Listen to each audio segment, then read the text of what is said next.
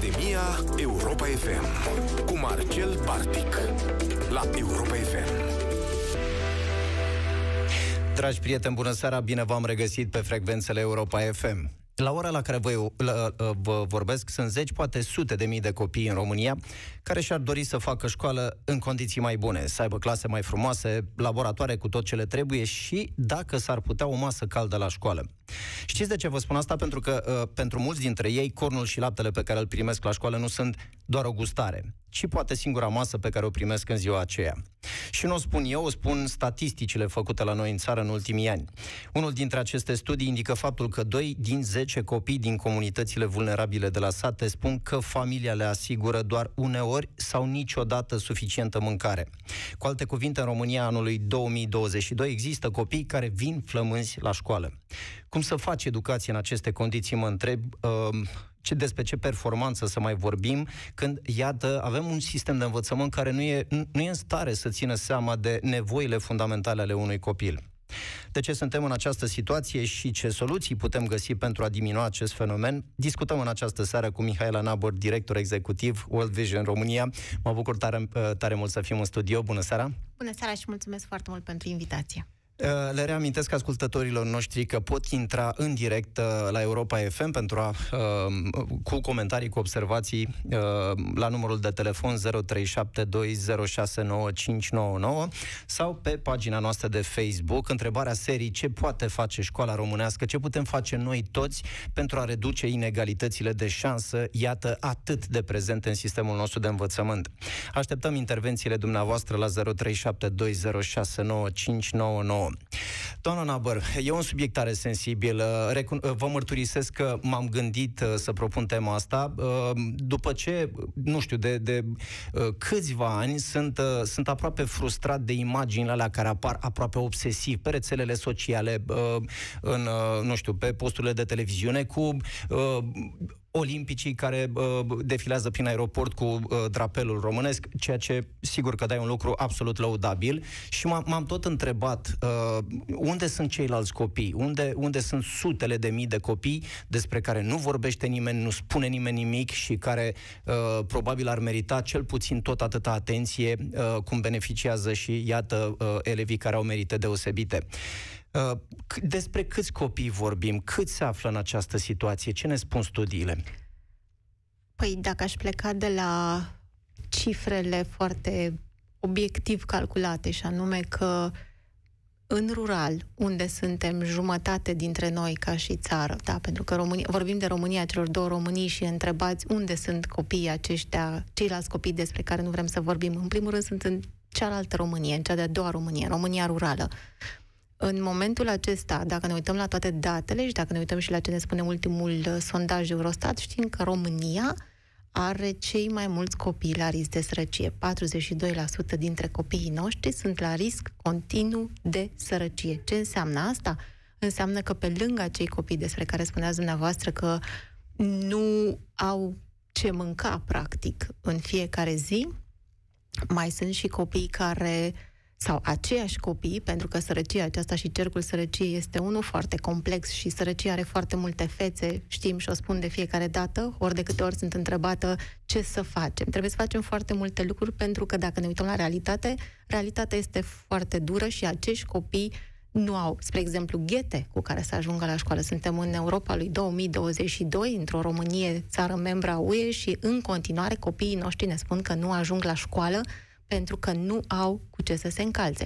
În continuare, ne așteptăm ca ai noștri copii să aibă performanță în condițiile în care ei merg cu burta goală. În continuare, ne așteptăm și așteptările noastre sunt foarte mari, ne uităm la acei copii olimpici și da, educația este despre toți, inclusiv despre copiii olimpici, nu doar despre copiii care fac performanță. Toți copiii pot face performanță dacă ar avea șanse egale la educație, dacă ar avea șansa de a fi într-o școală în care avem profesori instruiți, profesori pregătiți să învețe pe copiilor. Mă uitam acum la ultimul studiu pe care l-am făcut uh, legat de temerile profesorilor și de ce se tem ei cel mai mult. Cel mai mult se tem că nu vor face față noilor generații care au tot mai multe cerințe. 78% dintre copiii, dintre profesorii noștri ne cer ajutorul Păi, asta era una, una dintre uh, nelămuririle mele. Ce poate face școala românească pentru acești copii? Uh, vă recunosc că mi-am amintit la un moment dat despre uh, profesori aflați în situația de a, uh, de a refuza astfel de școli. Unii refuză efectiv uh, pentru că își dau seama că nu pot face mare lucru, uh, nu au instrumentele necesare la îndemână. Cum, cum îi poate ajuta școala? Cum îi pot ajuta profesorii pe acești copii? În foarte multe feluri. Să nu uităm că profesorul, rolul profesorului este acela de a se uita la fiecare copil în parte, de a-l preocupa starea copilului, de a ști de ce copilul, spre exemplu, nu vine la școală sau de ce nu are performanță și de a se conecta, pentru că înțelegem de foarte multe ori și avem această impresie că punem foarte mult în spatele profesorului sau a cadrului didactic. Poate că punem foarte mult pentru că nu avem acea echipă pluridisciplinară care să stea în jurul copilului și care să știe cum să-l ajute pe copil să depășească stima de sine scăzută, să-și depășească temerile. Poate sunt situații de bullying, într-adevăr, profesorul sau cadrul didactic nu are ce să facă, dar dacă ar avea un consilier, ar avea la cine să apeleze și ar ști că trebuie să apeleze la el. Deci, în jurul copilului este o celulă. Nu punem foarte multă, n-ar trebui să punem foarte multă presiune pe profesor rolul profesorului este, dacă am avea o echipă de specialiști care să fie în jurul copilului și dacă uh, sistemul nostru, pentru că nu este vorba doar de Ministerul Educației, aici copilul, tot vorbim și am fost astăzi la o discuție la reprezentanța comisiei unde am vorbit despre garanția pentru copil. Garanția pentru copii este un program național care pune copilul în centru și care aduce practic lângă copil un profesor un asistent social dacă are nevoie, un psiholog, un consilier, părintele care are un rol, are un rol extrem, extrem de important și restul membrilor comunității. Să nu uităm, copilul acesta trebuie să meargă pe un drum sigur la școală, trebuie să aibă transport școlar, deci profesorul trebuie să investească în clasă, în actul educațional. Profesorul trebuie să se pregătească să știe, de, să, să-l înțeleagă și să aibă plecare asupra elevului. De ce are nevoie copilul acela, în primul rând?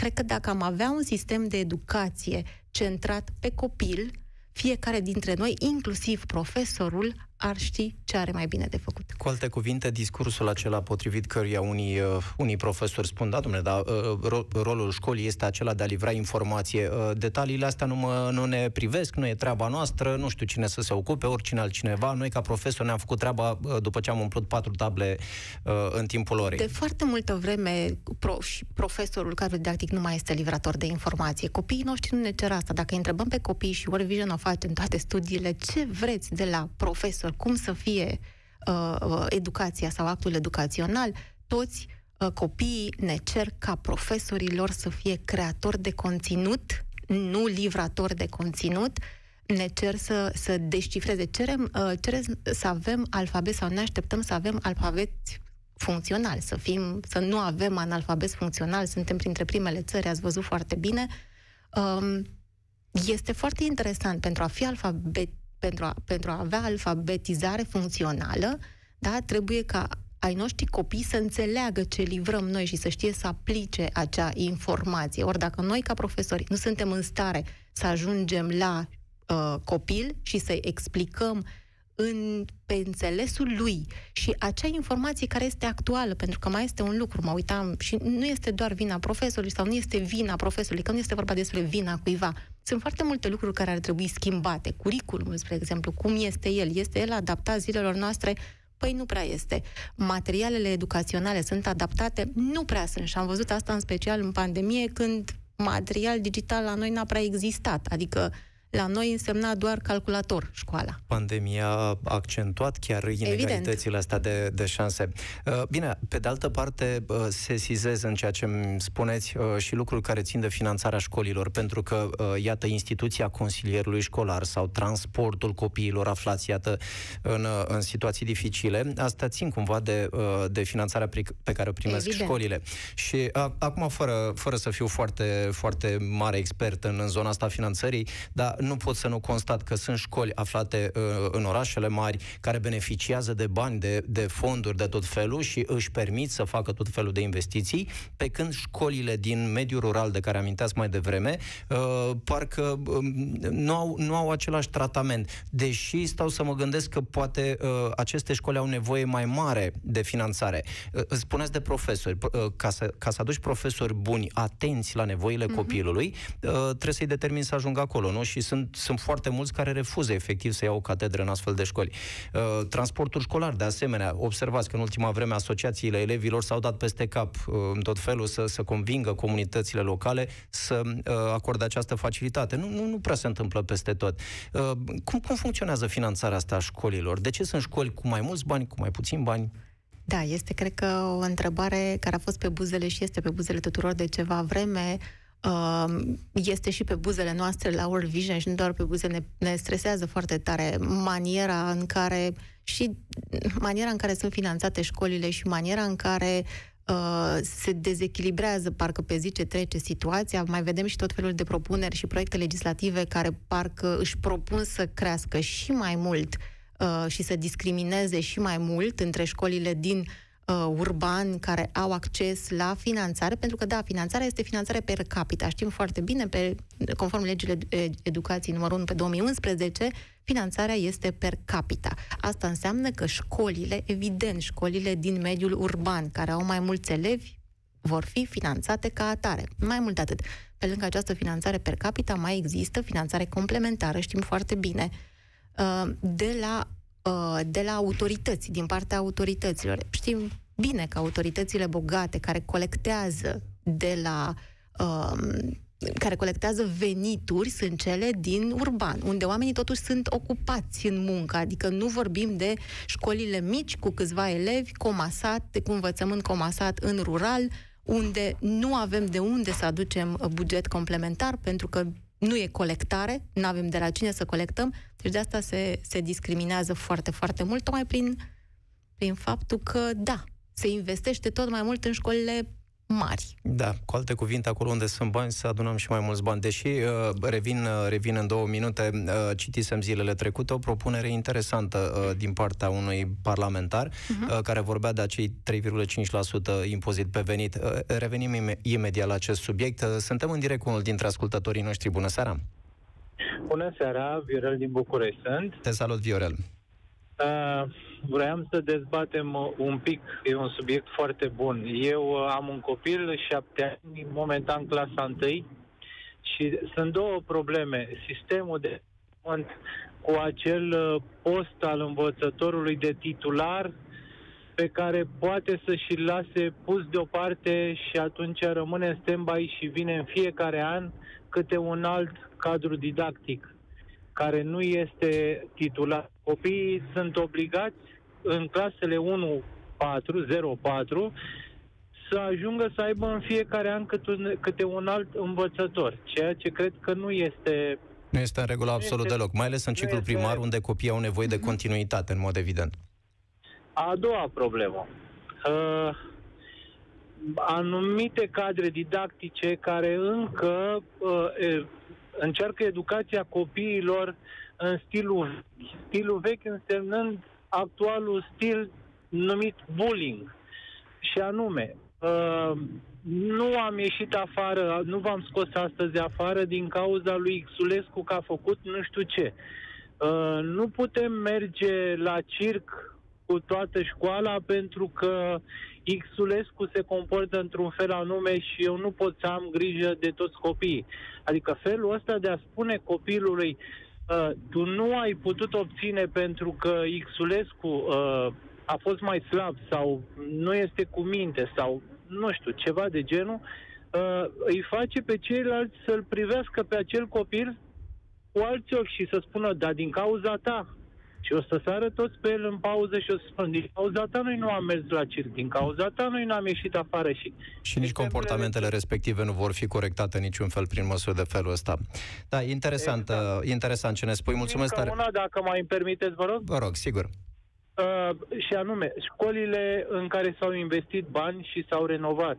Există foarte multe școli care au panouri solare și nu sunt puse în funcțiune. A fost, uh, e vorba de sectorul 6. Am spus chiar asta și domnului primar.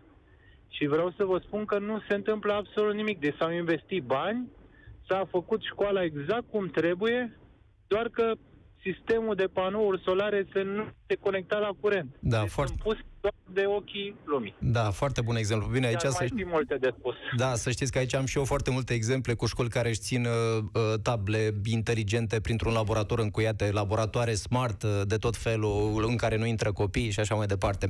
Mulțumesc tare frumos, Viorel. Uh, doamna Nabor, iată, uh, situații pe care ni le uh, semnalează ascultătorii noștri uh, și care cumva indirect uh, evidențiază faptul că sunt copii, sunt școli în care uh, accesul la un act educațional de calitate este uh, e frânat, este uh, împiedicat de astfel de uh, aspecte. Da, este și al, îl ascultam pe ascultătorul dumneavoastră când ne spunea că s-a făcut investiție în educație și foarte interesant. Mă bucur că începem să vorbim de investiție în educație, dar în același timp uh, văd cum pe aproape 80% dintre cei care vorbesc despre investiție în educație rezumă investiția în educație la investiție în infrastructura educațională. Și aș vrea să... Uh, deci, acesta, exemplul pe care l-a dat uh, ascultătorul dumneavoastră, al nostru, de fapt, uh, este unul foarte clar, care ne scoate în, în evidență faptul că investiția în educație nu înseamnă doar investiție în infrastructura școlară. Degeaba vom pune noi, și nu doar panourile solare, table interactive pe care nu știm să le folosim, uh, sau pentru care nu avem infrastructura necesară pentru a le folosi, sau aplicațiile educaționale. Am făcut acum ceva vreme, aproape 2 ani, un studiu, sau chiar un an, un studiu, un an, timpul trece foarte repede, un studiu cu Deloitte despre investiția în educație, pentru că sau cât ne costă faptul că nu investim în educație și am, ne-am uitat la ce înseamnă de fapt investiția în educație. De fapt, investiția în educație nu înseamnă doar, așa cum spuneam, în infrastructură, înseamnă investiție în profesori, investiție în copil, investiție în materiale educaționale, investiție în comunitate și în părinți să înțeleagă importanța educației și de ce este mai bine să nu iei, probabil, nu știu, un uh, motostivuitor, ci mai degrabă să susții masa caldă a copilor într-o școală, pentru că de acolo creeze acel know-how și dezvolți oameni și educi oameni care să poată să folosească și să instaleze și panourile despre care povestea domnul mai devreme și uh, tablele interactive și așa mai departe. Deci ceea ce am, uh, ceea ce am văzut prin studiul nostru pe cifre, vedeam în programele noastre copii care pornesc în programe și ajung uh, să devină ei înșiși generator de conținut educațional sau de resurse financiare a fost că orice leu investit în educație generează alți oblei, adică randamentul investiției în educație este de 700%, se vede pe termen mediu sau lung, nu pe termen scurt și trebuie să ținem cont de toate componentele, nu doar de table sau panouri uh, solare. Este, este nevoie, în mod evident, de bani în uh, școlile din România. 0372069599. Ce poate face școala românească pentru a reduce inegalitățile de șanse? Uh, revin la ce povesteam un pic mai devreme. Să știți că mă gândeam la un moment dat la uh, uh, lucrurile astea pe care le povesteați despre copii în școli și despre uh, egalitatea asta de șanse. Uh, am întâlnit foarte multe situații în care uh, copii uh, din medii vulnerabile, copii de etnie romă, copii aflați în uh, diferite situații financiare uh, dificile, uh, sunt repartizați în școli în anumite clase. Ăsta este un lucru despre care, iarăși, nu vorbește foarte multă lume. Există, știm cu toții că se întâmplă. Uh, de multe ori, înscrierile în clasele respective se fac pe anumite criterii, la cutare doamnă, da? iar uh, copiii care nu au nicio susținere, nu au niciun uh, un aparent potențial financiar, sunt dați undeva mai la clasele din urmă. Și iată, bătaia este pe clasa pregătitoare A, clasa pregătitoare B și C D-ul, eu, Dumnezeu cu mila, ce s-o mai întâmplat și cu ei acolo. De, de ce am ajuns în situația asta? Că aici nu e numai școala, aici sunt și părinții care adâncesc cumva inegalitățile astea. Cum, cum putem să-i convingem pe oamenii ăștia că nu e în regulă să se întâmple așa? Este ceea ce spuneam și mai devreme. Așa cum investiția în educație nu este suficientă doar pe anumite componente, nici uh, investiția unidirecțională în copil, spre exemplu. Adică, da, ne uităm, este important să avem copilul în centru, dar în jurul lui este o comunitate. Și noi spunem foarte des și nu suntem singurii care o spunem că este nevoie de o comunitate să crești un copil. Dacă părintele nu înțelege că educația este despre toți și pentru toți și este un drept al tuturor și că trebuie să investim în egală măsură astfel încât să aducem copilul de pe nivelul pe care este, la nivelul la care poate să ajungă sau el însuși ar trebui să conștientizeze să ajungă, pentru că și asta este o chestiune. Noi, adulții, ne proiectăm așa și copiii noștri și copiii uh, și copilul de lângă noi, unde am vrea noi să fie. De foarte multe ori uităm să ne uităm la copil ce poate și la contextul în care, în care el este. Și atunci încercăm să găsim, din perspectiva noastră, cele mai bune clase pentru copiii noștri, cei mai buni profesori pentru copiii noștri, pe care sistemul i-a creat, pentru că investim inechitabil. Și am spus și mai devreme. În rural, spre exemplu, o să fiți uimiți să vedeți că nu există aceste discuții, pentru că în rural găsim și avem o altă problemă majoră, și anume a școlilor comasate, unde învață copiii de la clasele 0-4 și atunci n-ai ce să faci. Deci acolo este oricum, oricum o altă lume. Vorbim de un alt tip de inechitate la fel de mare. În urban găsim această inechitate pe care, pe care, despre care povesteați dumneavoastră, în rural găsim un alt tip de inechitate. Oricum ne-am uitat, ori din orice unghi ne-am uitat, este clar că e vorba despre noi, despre fiecare dintre noi, despre noi ca adulți, noi părinți, noi profesori, ce vrem de fapt de la acest sistem. Vrem să avem, tot timpul vorbim despre competiție, tot timpul ne comparăm copilul cu celălalt. Îl vrem într-o clasă mai bună decât a celuilalt. Uh, nu e vina profesorului aici, este vina noastră, a fiecăruia dintre noi. Și cred că în momentul în care o să conștientizăm că fiecare avem o parte din impactul pe care îl vedem acum în sistemul educațional. Nu ne convine ceea ce vedem, dar fiecare dintre noi suntem generatorii acestui context. Uh, dragi prieteni, vorbim despre inegalitatea de șanse în învățământul românesc. Suntem în uh, direct cu unul dintre ascultătorii noștri. Bună seara, vă ascultăm. Uh, bună seara, bună seara, Robert mă numesc. Salutare, Robert. Și ceea ce aș vrea să atrag atenția, având în vedere că sunt uh, uh, implicat lipsește un cadru general Deci dacă nu, dacă nu aplicăm un cadru ferm niciodată nu vom termina cu aceste liste. De exemplu, în București uh, și nu numai există școli în două, trei ture. De ce? Pur și simplu pentru că există o, aș spune, o ferocitate de a se înghesui copiii într-o singură cutie de conserve. Dacă ministerul ar veni cu o uh, treabă clară, școli într-o singură tură, maxim, maxim un copil pe 5 metri pătrați spațiu util. Ce înseamnă asta? Asta înseamnă calitatea actului educațional. În uh, Europa, spațiul aferent unui copil este între 6 și 11 metri. Da, uh, 10 metri în Portugalia, 6 metri în Europa Centrală. Da, uh, Robert, dacă, dacă mi îngădui să preiau puțin ideea, foarte bună de altminteri și întâmplător știu câte ceva despre datele astea. Îți mulțumesc tare mult pentru, pentru intervenție. Uh, puțină lume știe că lucrurile, detaliile de felul ăsta se regăsesc în standardele de acreditare uh-huh. ale școlilor.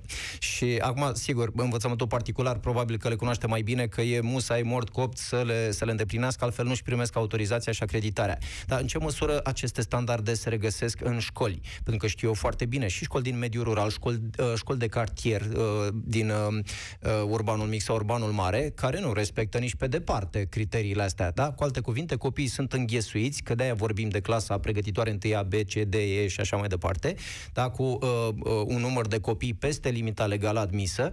Uh, acolo, um, nu știu, de ce, de ce nu mai respectăm criteriile cu aceeași uh, seriozitate? Cine verifică lucrurile astea?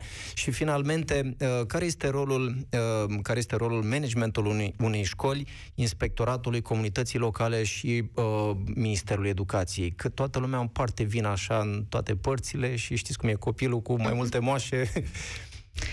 Da, uh, foarte interesant ați formulat. În școlile private se respectă pentru că sunt verificate în celelalte. Nu, oare de ce? Legea este aceeași pentru toată lumea.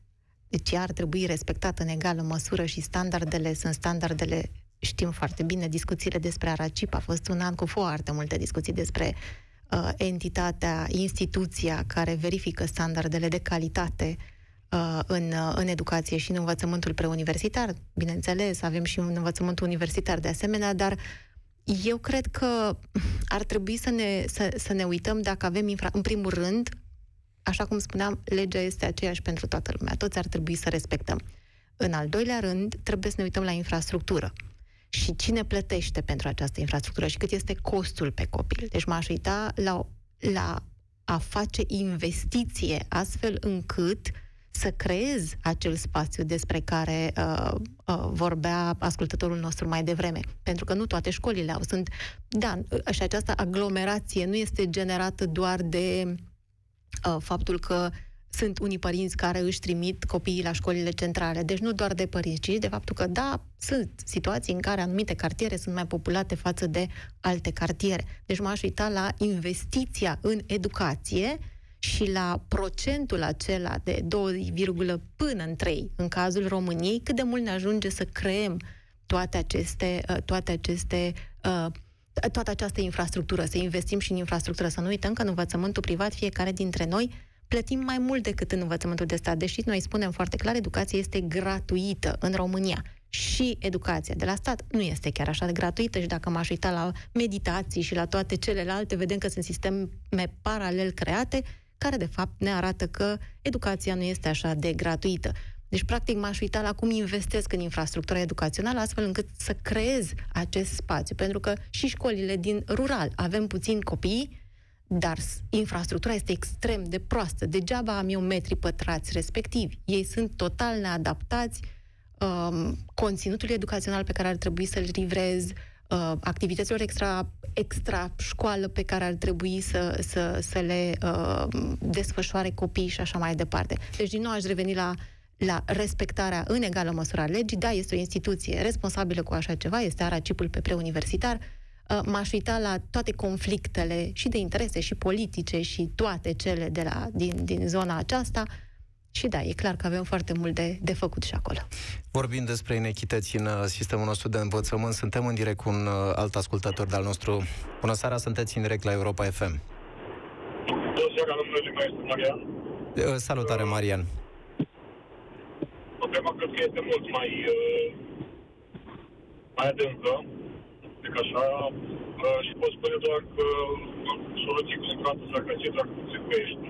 Uh, în al doilea rând, uh, chiar dacă vom investi în toată această infrastructură și vom ajunge la un nivel de poveste, este posibil să fie uh, insuficient, pentru că școala românească, să, să faci școală multă în România, zile încărcate, nu este atractiv.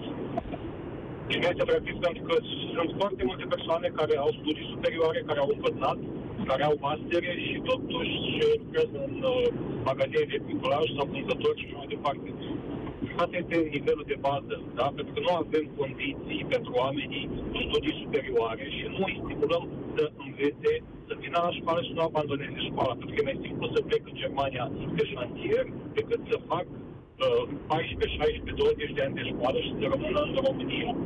Da, foarte, foarte interesant uh, ce ne spui. Îți mulțumesc tare mult pentru intervenție. Iată, faptul că nu există, nu există conexiuni între ceea ce predăm la școală și ceea ce își doresc copiii, mai ales, iată, copiii din, uh, din medii defavorizate și, uh, nu știu, mă gândesc cumva asta um, contribuie la abandonul școlar, contribuie la demotivarea pentru învățare, pentru că toate astea vin la pachet. Citeam undeva că și rezultatele, practic, la învățătură, e, e clar, evidențiază uh, rezultate foarte, foarte slabe, mai ales în, rând, în, categoriile, în rândul acestor categorii de copii. Uh, cum, cum putem să diminuăm uh, amploarea acestui fenomen? Aș începe din nou cu profesorul, pentru că ceea ce spuneți dumneavoastră și cred că nuanța pe care o prindea și ascultătorul nostru era aceea că suntem dezangajați, suntem dezinteresați, conform tot așa unui studiu pe care noi l-am făcut la World Vision, să întrebăm cât de mulțumiți sunt de meseria pe care o practică sau cât de mult vor să practice acea meserie. 70 și ceva la sută dintre profesori, spre șase ne spuneau că nu sunt atrași de meseria de profesor sau de cadru didactic pe care o practică. Și atunci, uh, de cum ne așteptăm? Este același lucru pe care îl aud de fiecare dată. Vrem ca ai noștri copii să ia note mari la evaluările naționale, dar de fapt profesorii care predau la clasă sunt ei cei care au luat 2 sau 3 la examenele de titularizare. Adică, și aș reveni la întrebarea dumneavoastră, adică m-aș uita la cum fac să-l fac pe profesor, pe cadru didactic, um, preocupat de ceea ce face, pasionat de ceea ce face, cum să-l instruiești, ce condiții să-i ofer, pentru că, da, e, e foarte adevărat, nu ai cum să duci într-o comunitate dezavantajată uh, un profesor care trebuie să-și acopere sau un cadru didactic care atunci începe cariera și care are nevoie și de bani de transport și de bani de, mm, nu știu, tot felul de materiale educaționale, pentru că în școala respectivă nu există și așa mai departe. Deci, în primul rând, trebuie să asigurate aceste acest minim de bază pentru fiecare dintre, dintre profesorii noștri și formați în așa fel. Și apoi dacă m-aș uita la copii și la elevi, acolo lucrurile sunt mult mai interesante și mai nuanțate și de-abia aștept să scoatem un studiu acum, pentru că noi suntem deja în ziua, în, în luna internațională a drepturilor copilului și rulăm în perioada aceasta un studiu în care ne întrebăm copiii cât de și întrebăm în toate studiile noastre, dar asta va fi cel mai, cel mai uh, actual, practic, studiu, cât de mulțumiți sunt de școală, cât de bine le sunt respectate drepturile, cât de... Să știți că ai noștri copii merg la școală pentru a învăța și ei sunt cei care ne spun asta. Nu neapărat pentru a învăța română și matematică. Ajung să învețe și română și matematică la un super nivel de, de, de performanță.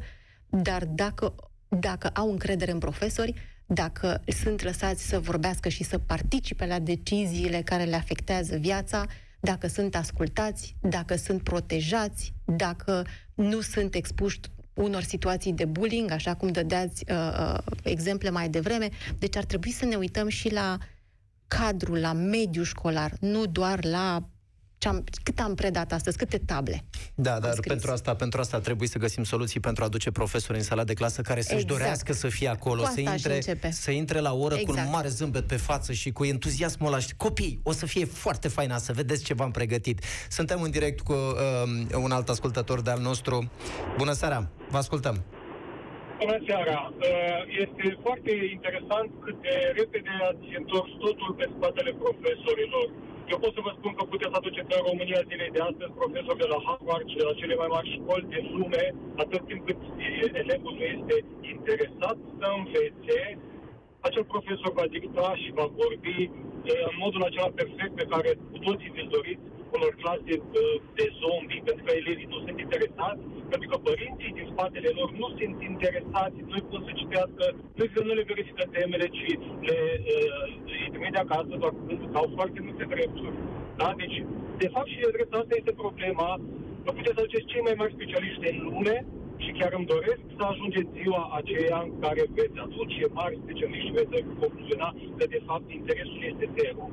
Da. Este ca și cum dumneavoastră ați merge acum și ați ține această emisiune, nu știu să vă spun unde, într-un club de rocări. Foarte, foarte bună observație, sigur. Sigur. Pentru un club de rocări, nu sunt interesați să vă asculte. Ei sunt interesați de muzica lor. Exact, exact, în regulă. Mulțumesc mult, e o observație foarte bună, uh, Mihaela Navăr.